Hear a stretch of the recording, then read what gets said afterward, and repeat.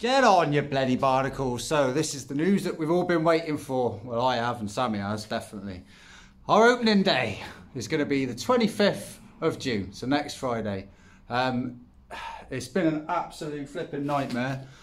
We're not up to scratch, not what we wanted at all. Um, we had a massive balls up with a supplier about our, we have, we've got two big eight foot tanks going over there. One's going to be the counter and I phoned them up, thought they were going to be here last Thursday, and they're not even made yet. So I went a little bit mad at them, but is what it is.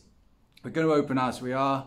Um, again, like money's been tight. We want to be quite transparent with you. All.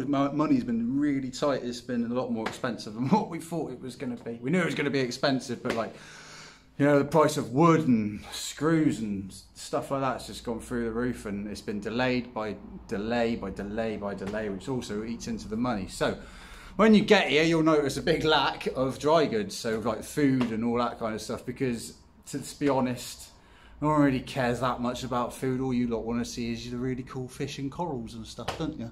So I thought rather than spend a little bit on fish and a little bit on food, I'm going to spend a shitload on fish and buy the food as and when. But um, the other reason is it's your shop. This is the thing about the Urban Aquarist, it's your shop.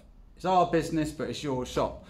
The reason we wanted to do it in the first place is because ever since I left my old shop, um, I've had messages all the time, people saying, you need to start a shop, you need to start a shop, there's no decent shops around here.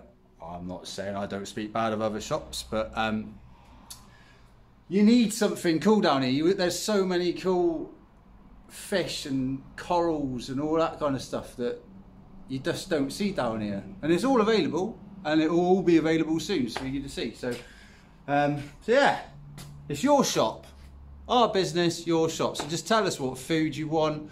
Um, I might put some little, you know, what they call little slips on the counter to say what food you use and I'll get it in as and when. I've got all the, all the accounts that you want so I can get anything, absolutely anything, tanks, lights, food, whatever, and hopefully at a good price. Um, but you know, it's the fish you don't want to see. So this Friday, 25th of June, ain't gonna look like we wanted it to look, but there's gonna be fish in the tanks and corals in the coral bays and plants in the plant tank and you'll see my lovely face and Sammy's lovely face. So thanks. Thanks for all the support as well. Um, but yeah, 25th of June. Your Urban Aquarist is finally opening. My God, I'm scared.